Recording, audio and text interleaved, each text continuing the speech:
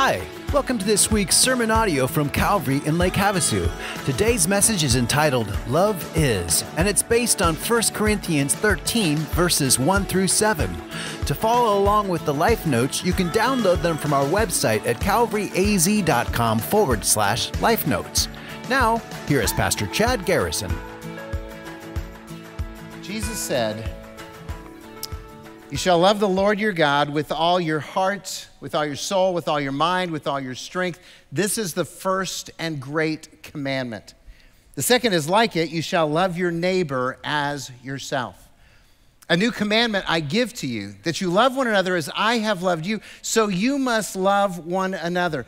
For by this all men will know that you are my disciples if you love one another.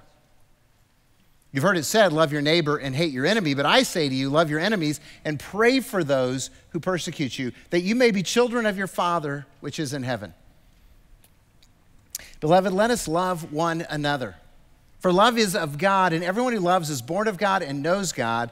He that does not love does not know God, for God is love. This is love, not that we loved God, but that He loved us and sent His Son to be an atoning sacrifice for our sin. And God demonstrates His own love towards us in this while we were still sinners, Christ died for us. If I speak in the tongues of men and of angels and have not love, I am a, as a noisy gong or a clanging cymbal. And if I have the gift of prophecy and can fathom all mysteries and have all knowledge and even have a faith that can move mountains, yet have not love, I'm nothing. And if I give all I possess to the poor and even deliver my own body to the flames and yet have not love, I gain nothing. Love is patient, love is kind. It does not envy. It does not boast. It is not proud. It is not rude. It is not self seeking. It is not easily angered, and it keeps no record of wrongs. Love does not delight in evil, but rejoices with the truth. Love always protects, always believes, always hopes, always endures. Love never fails. Now remain these three faith, hope, and love. But the greatest of these is love. So, guess what we're talking about today? Yeah, some of you are like, I don't know. Hey, I'm going to invite you to turn to 1 Corinthians uh, chapter 13 in your Bibles or your Bible apps. If, uh, if you don't have a Bible with you and you're at one of our campuses, uh, we have Bibles that you can use. If you're here at our Sweetwater campus, just grab one of the Bibles in the seats around you. Turn to page 1140. If you're at our Parker campus, there's a table right at the back of the room. Just get up right now and go grab one of the Bibles, turn to page 1140, and you'll be able to follow along with us in Scripture. If you're joining us, uh, uh, and by the way, if you're any of our campuses and you don't have a Bible and you want one, take one. It is our gift to you. We want you to have God's Word and read God's Word. If you're joining us online and you don't have a Bible and you want one, just ask for one. The service, uh, the, yeah, the service host, or you can email us at calvaryaz.com and we will get you a Bible because we want you to read God's Word because we know if you read and apply God's Word, God will change your life. Hey, uh, we are talking about love, and I just want you to know that our culture massively misrepresents what love is. I mean, they abuse the concept of love. They cheapen it, they ignore God's teaching and God's example. So, what I want us to do today is look at the biblical definition of love. Now, uh, again, as we've said many times uh, as we walk through 1 Corinthians, this is for people who are following Jesus. So if you believe that Jesus is the one and only Son of God and Savior of the world, if you believe that Jesus died on the cross to pay for your sins and that he was raised from the dead, and you've made a commitment to follow Jesus with your life, then uh, God expects you to do all those verses that I just quoted. I mean, this is, we're going to talk about his standard, his expectation for his people. If you're not yet a follower of Jesus, uh, we want you to hear what God expects of his people. because we want you to choose to step into a relationship with Jesus Christ, to commit to following Jesus, so that He can change your life and fill your life with love. Okay, that's, that's what we want. So listen in, and, uh, and this is important because uh, if, if uh, this is the expectation for all Christian behavior, okay, for everyone who's a follower. And, and the first thing that we need to look at and see is that love is the priority. Love is the priority. Look at me again. By the way, I quoted uh, 1 Corinthians 13. I memorized it in the NIV. This is a little bit different. But uh, Paul says, If I speak in the tongues of men and of angels, but have not love, I am a noisy gong or a clanging cymbal. And if I have prophetic powers and understand all mysteries and all knowledge, and if I have all faith so as to remove mountains, but have not love, I am nothing. And if I give away all I have and I deliver up my body to be burned, talking about being a, a human sacrifice, but have not love, I gain nothing. Paul is absolutely crystal clear at this point He's saying, look, your giftedness, your talent, your abilities, all of those, your competencies, if you don't have love, it's unimportant. Because it just doesn't matter. If, you know, he said, look, I don't care how smart you are, how educated you are, how much knowledge you have, how much faith you have. I mean, think about the, what he's saying. You have a faith that can move mountains. He says, I don't care. If you don't love people, if you don't love God and love people, it doesn't mean a thing. Doesn't mean a thing. He says, look, generosity is great, but without love, your generosity is insignificant. No matter how much you give, even if you give your own life for other people as an act of generosity, without love, it's insignificant. And Jesus clearly communicates this as well because he says, Look, the first and great commandment is to love the Lord your God with all your heart, soul, mind, and strength. Your whole being is to love God. And by the way, the one that's next to it, the second one, is love your neighbor as yourself. Everything else depends on these two statements. Everything in the Old Testament, all the law and the prophets hang on these two words. So, um, not, he, Jesus isn't being generic. He's not being like theoretical, he's actually talking about real love for people. So Paul is clear, Jesus is clear. So uh, let me just ask this how do we miss this? How do churches miss this? I, I mean, look, every church I've ever been in talked about love. I mean, they, they oh, we got to love people. We all, we all know that we're supposed to do this, but how do we actually miss that nothing else matters uh, if, if we're not loving? Now, I grew up in church, so I know how churches. Churches are easily impressed by degrees and titles and wealth and knowledge and outward piety. They look so good. But they often don't pay attention to how people treat people. I mean, I've been there. I, I, don't know about you guys, but I've been there when, you know, somebody in church, a leader in church, was just mean to other people and leaders of the church, sometimes pastors, will make excuses for that person acting in a non Christ like manner. I mean, basically, antichrist. Let's just call it what it is. And they make excuses. Well, you know, they meant well. Really, because it looked like they meant evil. Well, you know, they're good people. They have a good heart. No, their heart's wicked, just like everybody else's, okay? Uh, but we do that based on all these other things, but we don't pay attention to how they treat people. Now, as individuals, you have to look at your own life and go, why do I do that? But a lot of times we're influenced by people who are rich, who are smart, who are educated, talented, or maybe they're just an influencer. And we easily can ignore how they treat other people as well. God's not making any exceptions. He says the priority is love. The priority is love. We have to love God. We, we, we must love the people around us. Nothing else matters if we don't love. That's what Paul so eloquently said. Nothing else matters if we don't love. Now, Paul said it very poetically. I, I'm not nearly that poetic. I'll just do it blunt. The Word of God says nothing else matters if we don't love. Think about that. Think about all the religiosity that you've experienced, all the, the our own thoughts of like, oh, if I can do this for God, if I can do that for God, if I can, and God's like, hey, you're, you're operating on the wrong grading system. I want you to love better. Because nothing else matters if you're not loving. I want you to do that other stuff, but, but I want you to love. That's what Paul says. That's what Jesus said A new command I give you that you love one another as I have loved you, so you must also love one another, because by this all people will know that you're my disciples. By this one thing, they're going to know that you're following Jesus if you love one another. so it's really easy to understand why the world is confused about Christianity, isn't it? Because they see power lived out and they see, you know, wealth flaunted and they see all kinds of, you know, people who are judging people. They don't see the love. And, and here's the truth we can't represent Jesus unless we reflect his character. We can't do it. Problem is, we try to do it. We try to represent Jesus all different kinds of ways, and, and it fails because we're not reflecting his character embodied by love. I mean, as followers of Jesus, we want to represent God's holiness. We want to represent God's truth. We want to represent God's justice.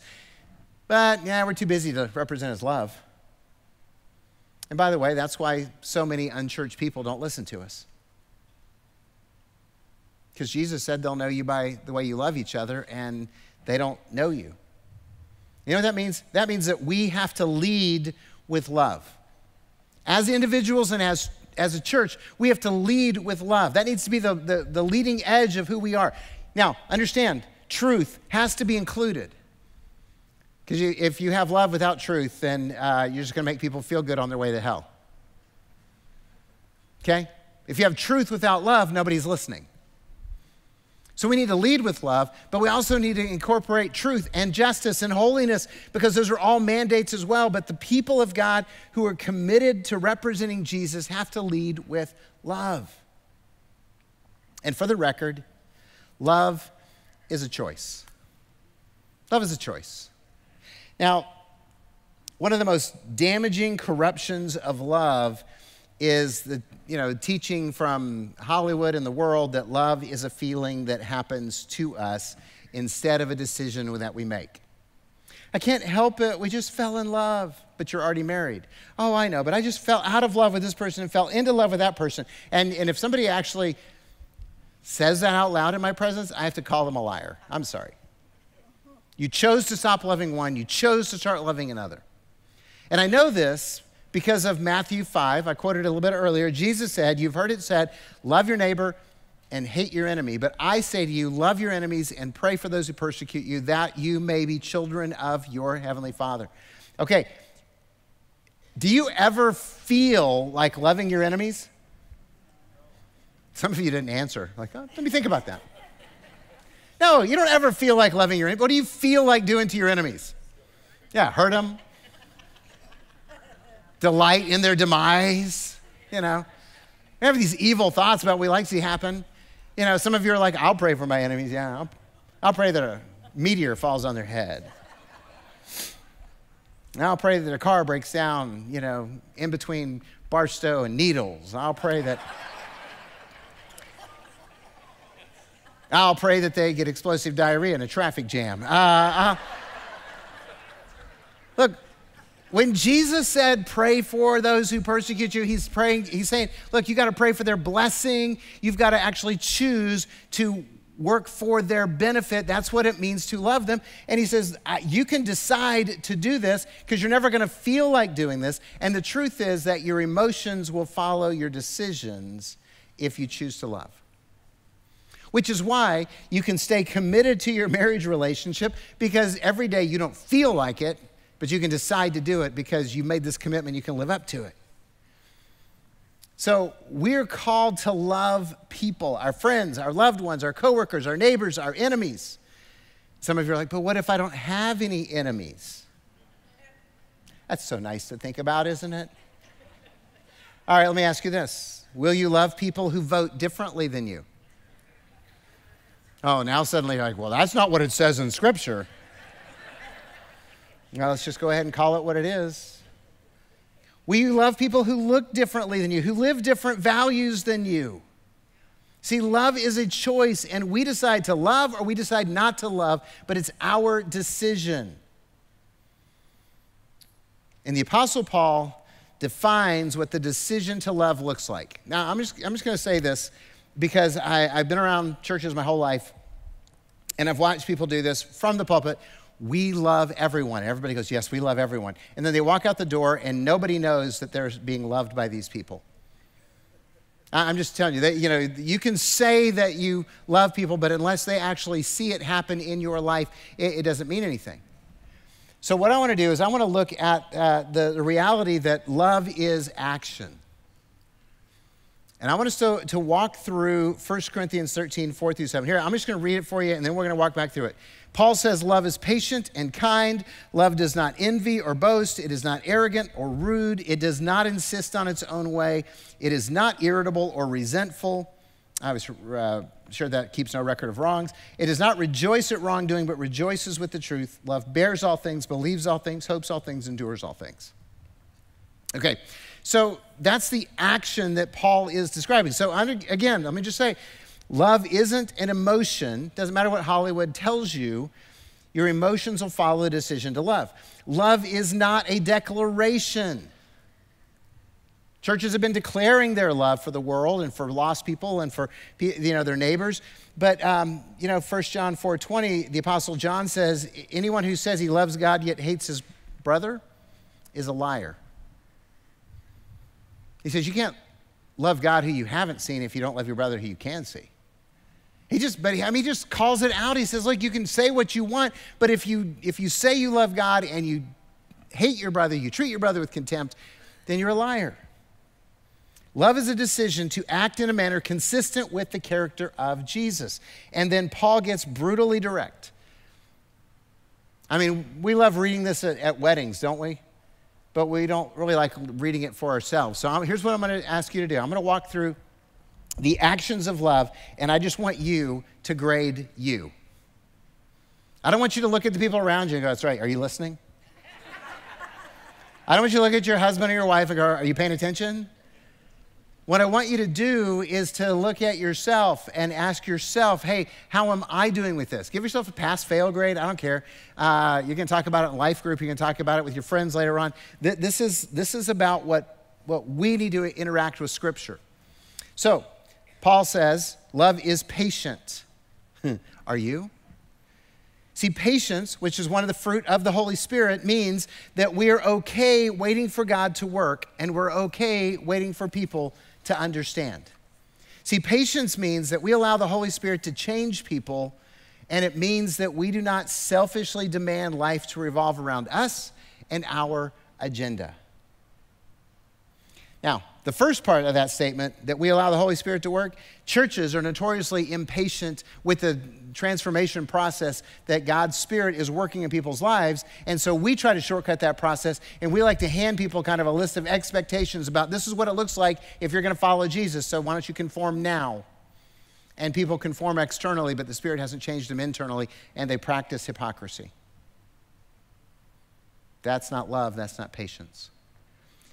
See, we talk about uncomfortable grace here at Calvary because we're actually going to be patient and we know your life is a mess. And we know that if you've encountered Jesus, He's changing your life. And we're going to give you the time for the Spirit to change you because when He changes you, it's for real and it's forever. And, and that's what we want is real life transformation. And we don't want you practicing hypocrisy. On the other side, it's, oh, okay, I just want you to hear this impatience is selfishness. Because when we're impatient, what we're saying is, I want the world to operate around me. I want the world to revolve around me. And so I want stuff to happen on my time schedule in the way that I want it to be. That, that's basically what we're saying. So when you lose your patience, you're basically demonstrating your selfishness out loud. So, wives, are you patient with your husbands? Husbands, are you patient with your wives? Parents, are you patient with your children? When you're at a restaurant, are you patient toward the waiter? When you're at a doctor's office, are you patient toward the medical office staff? When you're at the DMV, are you patient? Oh, yeah, see, I'll hit below the belt. I don't care. Are you patient towards other drivers, Chad? Hey, look, God's been dealing with me on patience for a long time, and He usually does it in the car. So, uh, so, love is patient and love is kind. Kindness is also a fruit of the Holy Spirit. And kindness recognizes, I to think about this. Kindness recognizes that every single person you encounter has their own struggles, their own hurts, their own you know, difficulties in life, and kindness gives them grace because they're struggling too. Again, it chooses not to think of yourself first, but it chooses to say, hey, they've got their issues, so I'm going to uh, treat people with gentleness and respect and kindness. So, I would ask the question Are you kind? And all of us would go, Yes, we're wonderful people. So here's the follow up question When are you unkind? When are you unkind? Because all of us can be unkind. And if you don't believe me, just ask the people who know you well. You know what my guess is? My guess is that you're the most unkind when you're impatient. Think about that. The two kind of go together. So, love is patient, love is kind, love is also content and humble. Content and humble. Uh, Paul said, Love does not envy, it does not boast, it is not arrogant, it is not rude. Think about those. Being content means we don't look around and want what other people possess. That's what envy is, right? Envy looks around and says, Hey, I want your wealth, I want your toys, I want your talent, I want your relationships. But contentment means we're satisfied with God's blessings. And humble means that we're not going to be boastful and arrogant and proud because when we live out, you know, being boastful, arrogant, and proud, you know what we are? We're rude. And if you're arrogant all the time, then you're a jerk. Let me just say that again. I, don't, they, Paul didn't use the J word, but I will. You're a jerk when you believe that you're actually better than other people. That's what arrogance is. Arrogance says, Well, I'm better than other people. I'm more important than other people. Therefore, I deserve better treatment than other people. I deserve to cut to the front of the line. I deserve to get waited on first. I, you know, whatever the, the thing is where you believe you deserve better treatment than others. By the way, anytime we feel that way, we need to be reminded that's the opposite of Jesus. Jesus chose to be a servant when he was King of Kings and Lord of Lords. we aspire to be King of Kings when we're called to be servants. Love is content and humble. And love thinks of others first. I mean, Paul says, does not insist on its own way, uh, does not demand its own way. The NIV says, isn't self seeking. It thinks of other people first. Uh, look, it, we are taught by this world, this culture we live in, to put ourselves first. That it's all about me. I got to take care of me. No one else is looking out for me. And that's the world's orientation. That's the, the, you know, that's the that's Satan's orientation. Me first. But Jesus and the Apostle Paul say, hey, look, put others first. Think of others first. I mean, the Apostle Paul actually says that in Philippians 2. He says, Do nothing from selfish ambition or empty conceit, but rather with humility of mind, consider others more important than yourself. He doesn't say they are more important, he just says, Consider them more important. And, and not only look after your own interests, but also the interests of others. He says, That's what I want you to do. Um, if your orientation of life is me first, then that's being selfish and that's not love. So here's a test when something happens in life, when something goes wrong in life, when your plans blow up, is your first thought about how it impacts your life, or do you think about how it impacts other people's life? Are you upset because uh, your plans now have to change? Are you upset because this is da- damaging other people's lives? See, that, that's a question that kind of reveals where our heart is in this. And uh, and it will tell you, hey, am I thinking of others first or am I thinking of myself first? You see, our culture is self centered. So it's easy for us to fall into being self centered. Uh, love challenges this orientation of me first, of being self absorbed, and it, choo- and it challenges us to choose to think of others first. So love thinks of others first, and love forgives. Love forgives. Uh, in the ESV, it says eh, eh, love is not irritable or resentful. In the NIV, it says keeps no record of wrongs. I like that. Love forgives. We all know the character of Jesus is grace and mercy. Because without Jesus being the sacrifice for our sins, we're all destined for hell. But because Jesus died on the cross to pay for your sins and my sins, then everyone who calls on the name of Jesus will be forgiven and will receive eternal life. That's grace, that's mercy. So when you receive that from God, and you know that God loves you and you love God, then guess what we do? We forgive other people. That's what love does. Love forgives. That's why it's so important. You know, Jesus is the ultimate example of love. He modeled forgiveness. And by the way, the, the harshest teachings of Jesus outside of his comments toward the Pharisees, his, his harshest teaching to the common people, that's us, was about unforgiveness. It was about unforgiveness. Dangerous things were said about unforgiveness. So, whomever you need to forgive is the person you need to love. And the way you love them is by forgiving them. See, when I said whomever you need to forgive, probably somebody or somebody's popped into your brain right now. Especially if you're a follower of Jesus, the Holy Spirit went boom. You know who. You know who. You know who we're talking about right now. It's not about what I'm talking about, it's about you and the Holy Spirit. And the Holy Spirit's like, you need to forgive them. By the way, the direction or the command to forgive is given to bless us. See, God wants you to forgive them because forgiving them will bless you. See, a lot of times we think, well, if I'm going to forgive them, I'm going to bless them, and I don't feel like blessing them because, you know, I'm forgiving them. No, if you forgive them, it blesses you because God's going to clean all that garbage out of your soul, and you're going to be free to live for Jesus. You're going to be free to enjoy life. So, what it boils down to is this Do you want your life filled with God's love? Okay, I'm asking again because some of you are asleep. Do you want your life to be filled with God's love? Yes. Then forgive. Do you want your life filled with the joy of Jesus? Then forgive. Do you want freedom from guilt and shame? Yes. Then forgive. I mean, it, it, it really works that way. And when we love God, we forgive. We forgive others. We forgive the people who have hurt us. Everybody in this room has been hurt by somebody, probably multiple somebodies. And love means you choose to forgive them. Why? Because Jesus loves you and he forgives you, so you love them, you forgive them.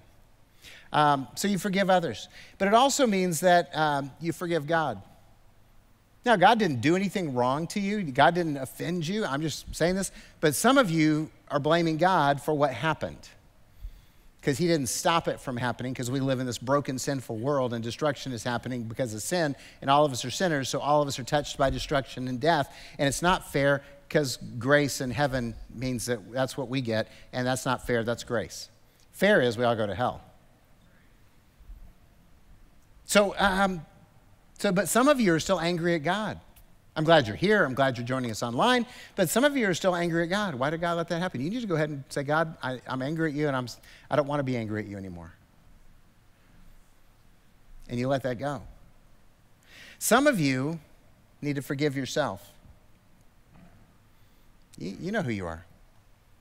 You hold yourself to a higher standard than God holds you. Because the blood of Jesus cleansed you from all sin, and yet you're still saying, not that one. No, I was too bad. I was too. And, and you just need to forgive yourself for being human. And I, I think human must be some, you know, extraterrestrial word that really just means stupid and rebellious. Because that's what all of us have been, right? Am I the only one who's been stupid and rebellious? Anybody else? Okay, some of you are like, well, I, I've been rebellious. Can I just tell you, you've defied God, the, the one who is wisdom incarnate, so you've been stupid. Okay? If that offends you, read the Bible. Hey, if you really want to be offended, read Proverbs, okay? They will smack you upside the head with a two by four. So uh, I'm just saying, forgive yourself because you're, you're a person like all the rest of us, and we've all, you know, we've all biffed it in major ways. And yet God looks at us and goes, I still love you and I still forgive you. So receive that forgiveness, and, and that's part of love God's love for us and your love for other people. So love forgives and love celebrates truth does not delight or rejoice in evil, but rejoices with the truth. See, love celebrates. But you know, when I say love celebrates, it celebrates life change. Like our, our couple that got baptized tonight, declaring their faith in Jesus publicly to the whole world. Love celebrates that. I love listening to this church celebrate baptism. It is such a joy. Love celebrates victory over self destruction. Love celebrates reconciliation. The stories of how we haven't talked in years. Love celebrates people seeking and serving Jesus. So here's, a, here's again, here's a question What are you celebrating? Because whatever you're celebrating reveals your heart. So love celebrates the truth, and love is faithful. Love is faithful. It bears all things, believes all things, hopes all things, endures all things. Love doesn't fail. See that what that means is love doesn't doubt, doesn't despair, and it doesn't give up. Love doesn't doubt, despair, or give up. I, I know that's hard to hear for the depressed skeptics ready to throw in the towel. But choosing love means that we choose to believe in God and in people. And yes, people will let you down. I, I, get that. But if you look at everybody waiting for them to fail you, you're going to be miserable and alone. Love chooses to say, hey, God still believes in me. I'm going to believe in them. And I'm going to give them grace when they fail. Choosing love means that we choose to hope no matter the circumstances. No matter what the circumstances are, you may be sitting here thinking, I've got no chance. These circumstances are so bad. But can I just remind you, we serve a God who is not daunted by any circumstances. He can redeem. See, choosing love means we choose to endure even when it looks hopeless. Because God is a God of hope. See, we do that. We choose to love. We choose faithfulness because Jesus never gives up on us. I want you to hear that really personal. Jesus never gives up on you. Some of you need to hear that tonight. Jesus hasn't given up on you. You see, because of the love of God, we win. Because of the love of God, we are victors. So why not choose to love? Because after all, we get heaven and we don't deserve it. So I'm going to challenge you to choose to love. Choose to love your spouse, choose to love your children and your grandchildren. That's easy. Choose to love your siblings. Choose to love your political adversaries. Choose to love the people who disagree with you. Choose to love the people who annoy you. Choose to love because we can't represent Jesus unless we reflect his character, and people are watching. By the way, before we pray, there are some who have not yet experienced the love of God through Jesus Christ. And you've been listening to us talk about love, and you've been thinking, yeah, but does it apply to me? And I'm just telling you right now, it applies to you. And if you have never surrendered to Jesus, you've never felt his love in your life, then we want to invite you today to do that right where you sit. Just simply say, Jesus, I need you to forgive me. I need you to save me. I surrender my life to you. You're my Lord, and he will enter your life. You're going to feel his love like never before, and he's going to change who you are. And if you do that, if you make that decision, let us know fill out a connect card, find a pastor, come pray with the prayer team, tell them, because we want to cheer you on in this life of love. Let's pray. Father, thank you for loving us. We know we don't deserve it, but we thank you for it. Thank you for sending Jesus to be the atoning sacrifice for our sin. Thank you for claiming us as your own when we were lost and, and just we didn't care. But God, help us to not only encounter your love, but help us to love like Jesus so that our friends, our family, our neighbors can see the difference and can be drawn to the reality that Jesus is the only one who can change their life. He's the only one worth building their life on. So, Jesus, we surrender again to you, and we ask that you would teach us how to love. It's in your name we pray. Amen. Three things will last forever faith, hope, and love. and the greatest of these is love. That's from 1 Corinthians 13, verse 13. If today's message spoke to you and you'd like to support the ministry of Calvary, you can do so by visiting our website, calvaryaz.com. The homepage has links to contact us, to give, listen to past sermons, and you can subscribe to receive our Word for the Day daily devotionals. Well, that's it for today. I hope you'll join us again next week. Bye bye.